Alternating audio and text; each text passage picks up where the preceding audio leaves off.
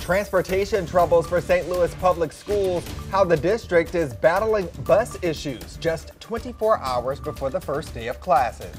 We've made several attempts to reach out to the district, but they've gone radio silent. Plus, volunteers evicted. Why one North City nonprofit is being kicked out from its community garden. A change in wind direction today, what that means for us. Today in St. Louis Weekend Edition starts right now. This is Today in St. Louis, focused on you. All right, wake up, wake up, St. Louis. Right now, you are getting a live look at the Gateway Arch, welcoming us in so beautifully on this Sunday fun day. Yes. And we are still celebrating because we're back. We are, we are. Back We're going to milk it this weekend, and I promise you next week we will zip it. We'll let it go. We'll let it go. But we're just so excited to be back with you, broadcasting you 6 and 9 every Saturday and Sunday. Today is August 18th. I'm Travis Cummings. And I'm Mercedes McKay. Thanks so much for waking up with us. Now, we have a lot to get to before Yeah. the first day of school for all the St. Louis public school families. But we need to know for all these kids, Tracy, what the last day of summer is going to be like. yeah. It's going to be perfect. Yay! It's they need that good news. They news. do. yes, they do. And the start of the school week as well, it really couldn't get much better than this. Now, what I will say is do not get settled in. This is false spring. So this is going to give us a sense of, or false fall. We're going to get a sense of like, oh, this is so nice. We can put some of our hotter clothes away. No, no, that's not the case at all because heat is going to come back with a vengeance late next week. 71 degrees for us. Winds are out of the west northwest, so we're seeing that northerly pull right now, which means we're getting some cooler conditions. Humidity is always high this time of day, but it is a little lower than it was yesterday. Yesterday was about 87% and we'll take that. Our Futurecast heat index, I'm still showing you this because we only have a 2 degree temperature swing, but it will factor in a little bit. 85 degrees will be the actual temperature. It will feel like 87 during the peak heat of the day. Quite a bit different of a graph than yesterday. Yesterday from noon till about 5 o'clock, we were in the 90s. Today we're going to be in the mid to upper 80s, so a bit cooler conditions for us today. Overall, we're looking at comfortable conditions through the week. I'm going to go over that as well as the heat impact for next weekend. All right, Tracy, thank you for that first look. New this morning, one man is dead and another is in the hospital after a shooting in the Kingsway West neighborhood. It happened around 6:15 last night on Euland Boulevard near Wabada Avenue. Police say one victim died at the scene while the other remains in the hospital in stable condition. This morning, we're working to learn more about what led up to that shooting.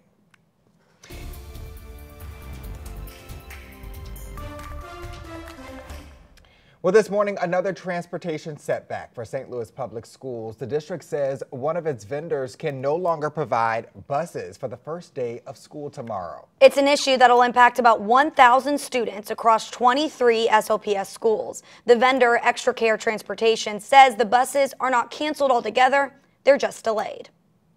That is not a denial, just a delay.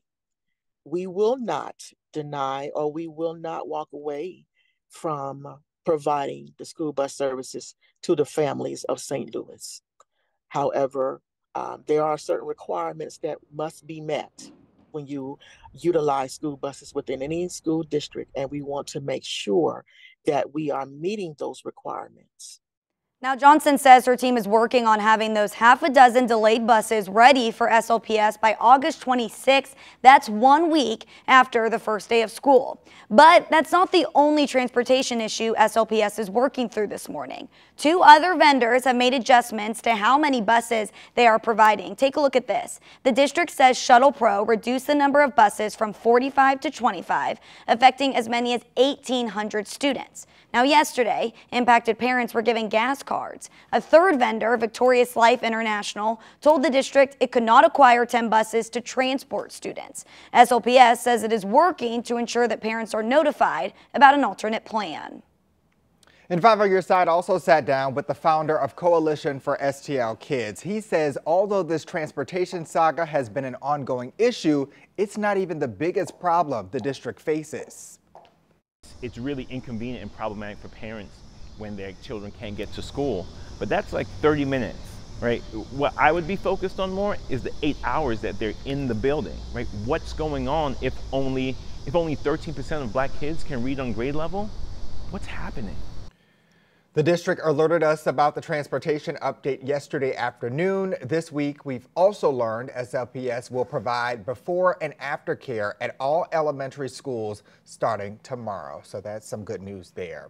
Well, and even with a full plate of transportation troubles, SLPS is dealing with other situations in North City. This morning, the district is evicting several nonprofits from the Clay Community Center. They have until next week to clear the property. Yeah, and I actually caught up with one organization yesterday that's scrambling to get out.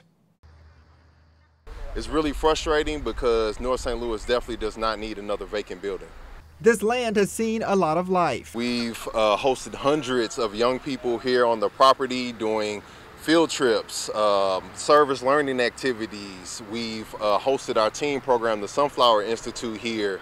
Now the community garden outside the Clay Community Center in North City is being dug up. Nick Speed's nonprofit Ujima is here to provide equitable access to food, education, and employment. We are in a position where St. Louis Public Schools is evicting us. Speed showed us this email he got from a professor at SLU. The university partners with the nonprofit and facilitates the property. The email says the district proposed a lease agreement to the university in late May that was just financially impossible for them. Uh, there was a conversation about raising the rent as well as having folks pay for the uh, water damage in the building. And so uh, instead of coming back with a counteroffer, giving us an opportunity to come up with a new MOU and a plan, they decided to just kick us out. And so we've made several attempts to reach out to the district, but they've gone radio silent. Volunteers came from near and far to help clear the lot on North 14th Street on Saturday. Putting in rows so people can plant food and flowers and then just suddenly being told you guys have a week to remove all this. Yeah, it's pretty heartbreaking. Even our teens are feeling feeling the feels. Um, they put a lot of hard work and effort into you know cultivating and building this. Speed, who owns another space down the road, says this won't stop him from sowing seed. We know the sense of urgency is great in places like North City, and so the, the work is going to continue.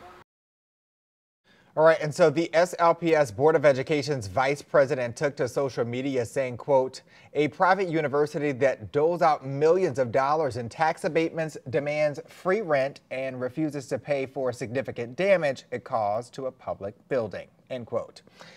We reached out to Davis to elaborate. He referred us to the school's district school person. We have not heard back yet.